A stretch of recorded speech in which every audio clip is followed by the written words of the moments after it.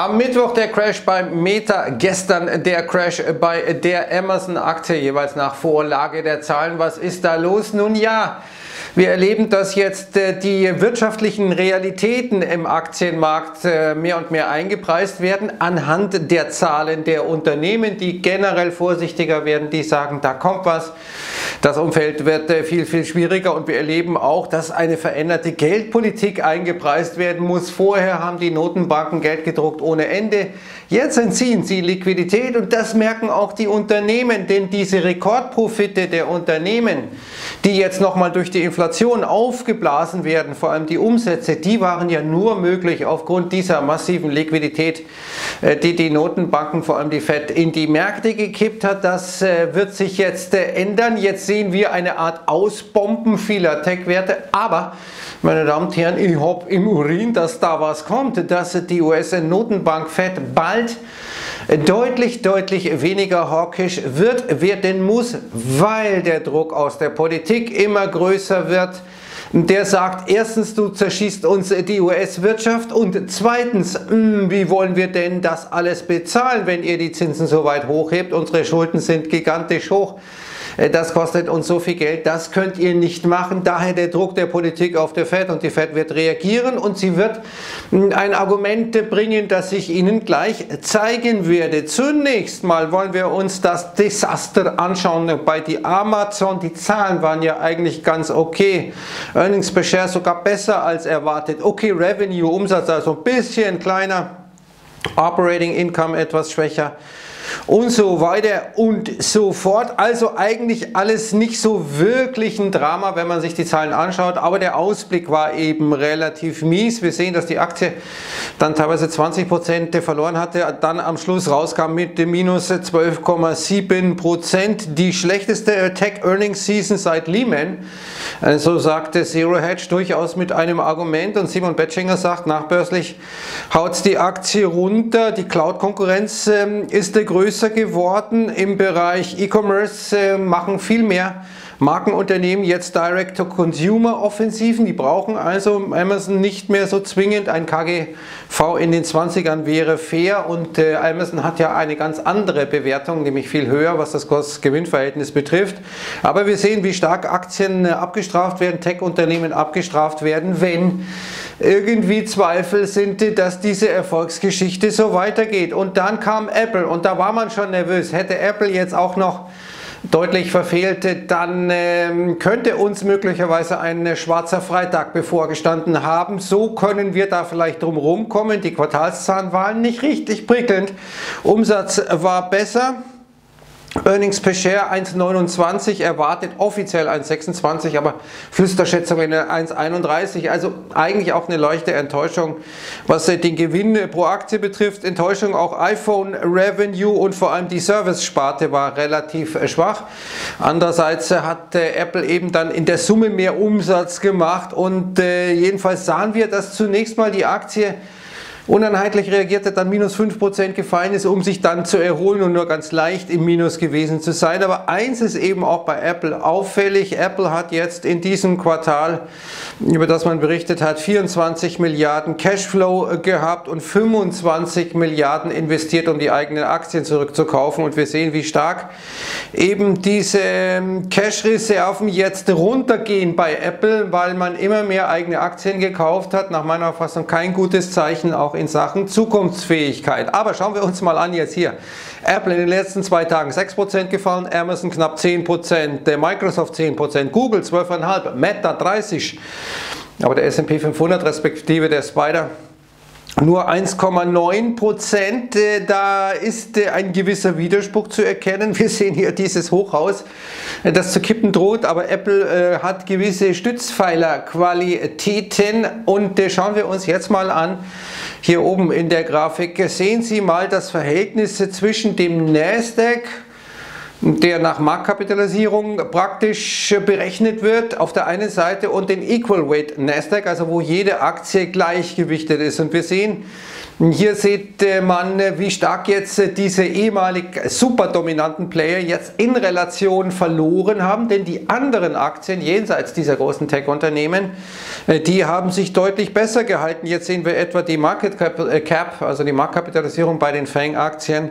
Die ist jetzt genau da, wo wir kurz vor dem Corona-Crash waren. Da waren die Aktienmärkte ja auf einem Allzeithoch. Da sind wir jetzt wieder. Also eigentlich nicht viel passiert. Wir haben nur eine Übertreibung nach oben abgebaut. Und einer, der es besonders übertrieben hat, ist mein 37,2 äh, bester Freund Jim Cramer den viele kennen von CNBC, der so einen Investment-Club hat und äh, als perfekter Kontraindikator gilt, zum Beispiel mit Amazon, hat er empfohlen kurz vor den Earnings, weil eben die Cloud äh, so toll sei, äh, lag er daneben. Vor allem hatte er Meta deutlich empfohlen und hat dann gestern auf CNBC äh, wirklich äh, so eine Mea culpa Rede gehalten, hat fast geweint, muss man sagen. Äh, ich lag falsch. Das war schon, äh, naja, also man äh, soll ja nicht äh, sich über das Elend anderer freuen, aber das war schon, wenn man Jim Cramer kennt, der im Austeilen ja auch nicht gerade zimperlich ist, äh, doch hat er einen gewissen Unterhaltungswert. Aber jetzt nochmal zu diesem Punkt. Wie war es möglich, dass diese Tech-Werte so aufgeblasen wurden? Es war möglich durch die Notenbanken. Jetzt sehen wir, dass der Kreditimpuls negativ wird.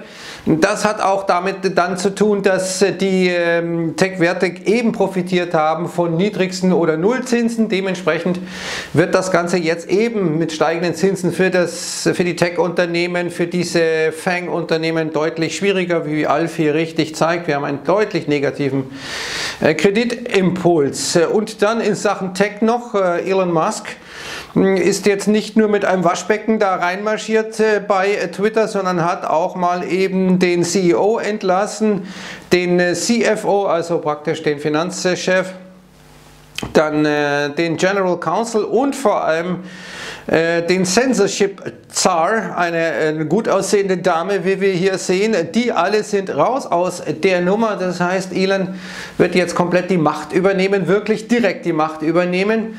Und er hat jetzt schon gesagt, dass er diese Lebenszeitsperrungen bei Twitter aufheben wird. Und da freut sich einer, das ist Seth Donald. Grundsätzlich finde ich Sperre auf Lebenszeiten nicht gerade demokratisch, das macht man nicht.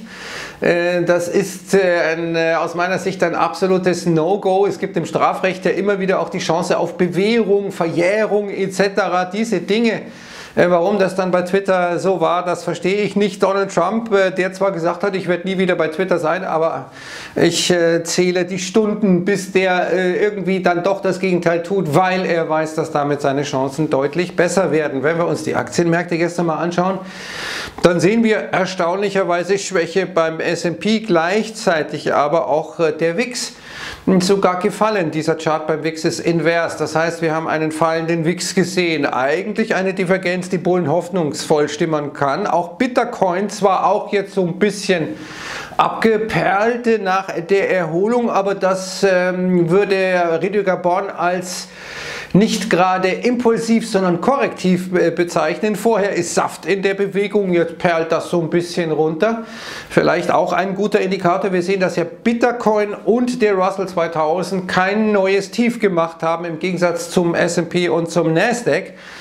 Das sind äh, positive Divergenzen, die man hier ins Feld führen kann. Heute kommen die ähm, Verbraucherpreise PCE, Personal Consumption Expenditure, äh, das ist äh, laut Aussagen der FED die Kategorie, die auf, auf die sie am meisten achtet. Äh, das ist eine, diese Personal Consumption Expenditure ist erfunden worden in den 70er Jahren, als auch eine sehr hohe Inflation war.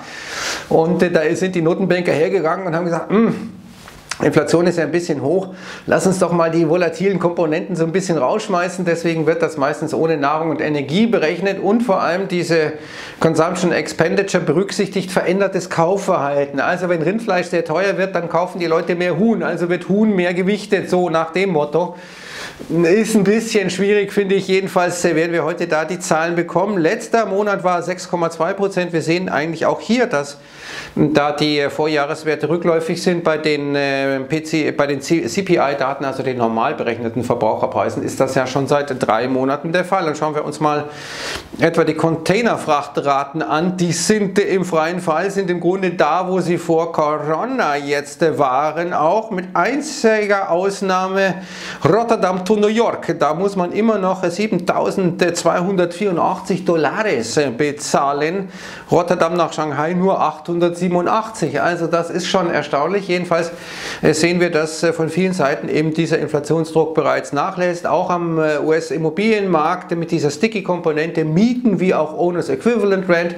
Das ist eine Frage der Zeit und wie gesagt, auf der anderen Seite wird der Druck aus der Politik für die Fed immer größer. Und warum sehen wir hier? Alleine in der letzten Woche hatte die Fed einen Verlust gemacht von 6,3 Milliarden Dollar, weil je höher die Zinsen steigen, Umso mehr muss die US-Notenbank jenen Banken an Zinsen bezahlen, die ihr Geld bei der Fed parken. Und jetzt äh, hat die Fed ja Anleihen im Depot und die werden durch steigende Renditen und Kursverluste der Anleihen weniger wertvoll. Auch dadurch entstehen Verluste, die die Fed nicht bilanzieren muss bislang. Aber das ist sozusagen eine tickende Zeitbombe. Äh, die wir da sehen. Und ähm, dieser Verlust steigt, je mehr die Zinsen angehoben werden. Und wir hatten gestern gesehen, Heikenlooper von den Demokraten mit einem offenen Brief, nachdem Brown, der Chef des äh, Bankenaufsichtskomitees innerhalb des Senats äh, sich da schon in der Richtung geäußert hat. Also die führenden Mitglieder der Regierungspartei sagen, Junge, jetzt mach mal locker und dafür gibt es gute Argumente, wenn man jetzt einfach mal sich die Zeitverzögerung in der Wirkung von Geldpolitik anschaut. Wir haben wahrscheinlich noch nicht mal wirklich voll drin die erste Zinsanhebung von 0,25 Prozent, die die FED ja im März gemacht hat. Normalerweise hast du so eine Verzögerung, naja, bis zwölf Monate kann man sagen, bis das überhaupt zu wirken beginnt. Das heißt, das, was die FED jetzt mit sehr schnellen Zinsanhebungen, mit drei Zinsanhebungen ähm, in Folge mit 075, wie es äh, aussieht, dann äh, nächste Woche. Das äh, muss sich erstmal durch das System robben gewisserweise und dementsprechend und das wird auch die Inflation, das wird auch das sein, was uns vermutlich Jerome Powell sagen wird. Er wird sagen, naja, wir gucken jetzt doch mal, wir wollen mal ein bisschen mehr abwarten, wie die Wirkung unserer Zinsanhebungen sind. Äh, das wird sozusagen dann das geldpolitische Argument in Reaktion auf den faktischen politischen Druck, der auf ihn ausgeübt wird. Und es war ja politischer Druck, der ihn zu dieser geldpolitischen Wende veranlasst hat, als Joe Biden ihm gesagt hat, Junge, zweite Amtszeit kriegst du, aber bringen wir die Inflation nach unten. Inflation muss deine oberste Priorität jetzt sein. Und dann hat Jerome Powell gesagt, jawohl, Mr. President, that's what I'm gonna do. Und das hat er gemacht. Und jetzt kommt sozusagen das Signal aus der Politik, so du kannst jetzt mal ein bisschen lockerer lassen. Und hier sehen wir, das Federal Budget Deficit wird immer größer, wahrscheinlich geht es nicht so großartig um die Arbeitslosigkeit, die wird auch steigen, wenn die Fed so weitermacht, aber äh, wir werden alleine ähm, schon äh, jetzt äh, wohl so um und, um und bei eine Billion Dollar sein pro Jahr, die praktisch nur für Zinszahlungen draufgehen. Das ist auf Dauer nicht zu leisten und das werden die Politiker dem Jerome mal zugeflüstert haben. Dementsprechend ist zu erwarten aus meiner Sicht, nicht nur wegen den Zwischenwahlen, sondern weil eben die Logik so überragend ist, dass Jerome Paul jetzt ein bisschen äh, das, den Fuß vom Bremspedal nimmt und daraufhin deuten auch etwa die Entwicklungen am Anleihemarkt. Hier sehen wir die zehnjährige ähm, äh, Anleiherendite in den USA. Bonds saying Fed is about done. Die Fed ist kurz davor, Schluss zu machen mit den Zinsanhebungen. Hier sehen wir, dass wir aus diesem steilen Aufwärtstrendkanal rausgefallen sind. Oben im RSI eine Divergenz haben, die sich gewaschen hat. Da könnte also einiges nach unten kommen bei den Renditen. Und es waren ja die Renditen, die stehen waren und der Dollar, der stehen war, was das ganze Chaos am Markt ja verursacht hatte. Das war also der große Schmerz, aber der Abverkauf, der totale Panik-Sell-Off, am Anleihemarkt dürfte vorbei sein. Ähm, der Dollar dürfte möglicherweise sein Hoch gesehen haben. Damit also die zwei Belastungsfaktoren schlechthin eigentlich schon weg. Wir müssen jetzt sozusagen diese Brücke noch bauen zwischen Earnings und vor allem schlechten Ausblicken von Tech-Unternehmen, Abverkauf der Aktien. Auf der anderen Seite am Horizont schon wieder die Sonne scheinen, zumindest was die Geldpolitik betrifft ähm, so diese leichte schizophrene Lage derzeit. Schauen wir uns mal den S&P 500 an, der hat den 200er DMA gehalten. Wichtig, das ist eine ganz wichtige Trendlinie oder ein gleitender Durchschnitt, ähm, da wo dieser Pfeil hier zeigt, der Chart von Ron Walker. Äh, da sind wir nur im Corona-Crash mal äh, durch, um dann aber schnell wieder drüber zu gehen. Wir sehen oben im RSI deutet sich eine positive Divergenz an und hier mal zwei Szenarien von Ron Walker wieder. Ein bullisches, wir gehen noch ein bisschen weiter runter vielleicht oder könnten jetzt sobald äh, erstmal einen Boden gefunden haben, dann eine kleine Aufwärtsbewegung nochmal nach unten und zack dann nach oben durch. Bullisches Szenario. Aber es gibt, man muss immer ja auch beide Seiten sehen, auch ein negatives Szenario, dass wir praktisch jetzt hier Elliott-mäßig in der Zweierwelle waren, die abgeschlossen haben und jetzt erstmal eine knackige Dreier nach unten sehen. Drei und fünf sind meistens die impulsivsten Wellen. Äh, um dieser mal äh, so zu formulieren. Wir sehen auch hier, dass wir den 5er EMA genau angelaufen haben, jetzt mit dieser Bewegung hier im S&P 500 und äh, die Monatskerze für den äh, Oktober ist äh, sogar noch positiv. Man glaubt es kaum, fühlt sich nicht so an, ist aber so. Schauen wir mal, ob äh, jetzt der Monat so abgeschlossen werden kann. Montag ist äh, hier in Norddeutschland der Feiertag, in Süddeutschland nicht und in den USA schon gar nicht. Also da wird nochmal gehandelt. Aber wir sind punktgenau da dran gelaufen. 3,874 mehr war nicht drin. Seitdem ging es äh, nach unten. Da müssen wir drüber. Und äh, wir müssen eben einerseits über das August hoch drüber, dann hätten wir praktisch die Bestätigung, wenn wir dann noch über die 200-Tageslinie kommen, dass das nur eine Korrektur war, dass wir noch nicht wirklich komplett in einer langfristigen Bärenmarktsituation sind. Kurzfristig ganz klar, alles was 20% unterschreitet an Minus ist Bärenmarkt. Aber hier nochmal das, was ich Ihnen eingezeichnet habe, diese Unterstützungszone hier im Nasdaq 100, so um die Zone 11.000, 10.9. Das ist das, was angelaufen wurde gestern mit den Zahlen von Amazon. Mal gucken, ob wir uns da nochmal ähm, befreien können. Das wäre das Szenario eines höheren Tiefs. Gutes Szenario, wenn es so kommt. Wenn wir das Tief nochmal unterschreiten, verschlechtern sich die Chancen. Wie gesagt, wir müssen hier dann äh, müssen die Bullen auch zeigen, dass sie es ernst meinen. Der Chart, by the way, von capital.com, dass man eben relevante Schreckensszenarien äh, praktisch auch charttechnisch widerlegt. Hier sehen wir eine potenzielle ähm, inverse Schulterkopf-Schulterformation, die aber erst dann wirklich aktiviert wird hier im Nasdaq Composite, wenn wir eben über diese beiden Hochs, die wir da gesehen haben, drüber rausgehen. Dann wäre das aktiviert. Fallen wir unter die Schultern deutlich, wäre das deaktiviert. Also Be open-minded in both directions, würde jetzt der Südfranzose sagen. Jetzt schauen wir uns nochmal die Tech-Werte in China an. Da hat es auch wieder ganz schön gehumpelt nach Amazon. Ist ja so eine Frage, ist natürlich ein immenses Risiko. Wer weiß, äh, ob das so enden kann wie mit russischen Aktien, mit äh, chinesischen Aktien. Aber natürlich sind viele Tech-Werte sehr, sehr günstig äh, bewertet. Eine Alibaba und so weiter und so fort. Jedenfalls knallt es da wieder kräftig in China nach der deutlichen ähm, staatlich gelenkten Erholung der letzten zwei Tage. Jetzt äh, hier nochmal ein Satz zu Deutschland. Wir haben vorhin gesehen, die äh, Verbraucherpreise aus Nordrhein-Westfalen zum Vorjahresmonat 11 Prozent lässt nichts Gutes ahnen. Das wäre die höchste Inflation seit den 1950er Jahren. Und äh, heute kommen ja die Verbraucherpreise 14 Uhr. Erst die einzelnen Bundesländer äh, letzten Monat gab es nach der Veröffentlichung von Nordrhein-Westfalen einen richtigen Abverkauf. Das einzige Mal, dass Nordrhein-Westfalen wirklich für die Weltfinanzmärkte wirklich wichtig war. Aber hier nochmal ein Tweet. Ähm, kauf ein Bier für den Preis von zwei und du kriegst garantiert das zweite Bier umsonst. Äh, das ist ungefähr so das, was derzeit mit der deutschen Finanzpolitik passiert. Erst verteuert man Energie künstlich, weil man es will, weil man sagt, ja, fossile Energieträger sind böse, die müssen teurer werden. Äh, dann äh, kriegst du die Inflation auch natürlich durch Putins äh, Invasion und jetzt steckst du es den Leuten zur anderen Hosentasche wieder rein. Das ist ungefähr das, was derzeit passiert. Heute bekommen wir einmal mehr die Quittung. Und jetzt ein Hinweis, meine Damen und Herren, ich hatte diesen Artikel schon mal empfohlen, aber er enthält Und der Wolfgang Müller, der Autor dieses Artikels, ist immer wieder traurig darüber, dass das so wenig wahrgenommen wird. Er hält so viel Substanz und äh, Dinge, die wirklich über das tägliche Rauschen hinausgehen, dass Sie sich das unbedingt anschauen sollten. Das hat, äh, oder Wolfgang Müller hat schon im letzten Jahr gesagt, diese Tech-Dominanz, die kann und wird nicht Bestand haben. Reversion to the mean. Immer wieder kehren Dinge zum Durchschnitt zurück. Und wenn etwas zu weit über dem Durchschnitt sich entfernt, dann kommt es äh, immer wieder zurück. Deswegen will ich Ihnen diesen Artikel nochmal empfehlen. Nasdaq 100 auf den Spuren des Nikkei.